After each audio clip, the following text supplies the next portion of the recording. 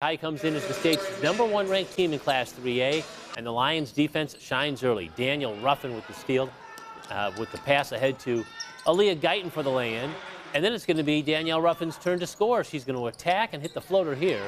Nyesha Rutherford, right place, right time off that Lions press. Snags that inbounds pass for an easy lay-in here. And then look at this Guyton play. She's going to squeeze between two manual defenders and get that ball in the hoop.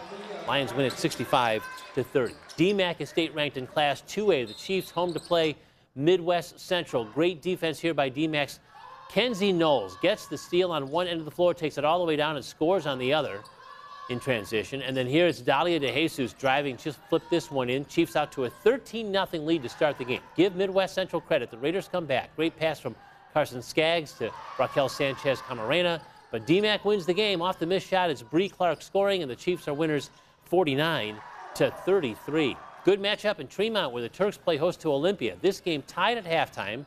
Third quarter, Ole's Hannah Cleveland in the corner. Open three. She's going to nail that one.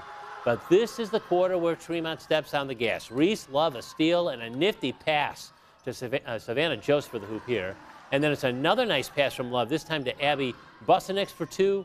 And then it's going to be Hannah Dennis for Tremont. She'll take it to the hole. Drive it, score it, and she's fouled. Tremont a 10-point lead at that point.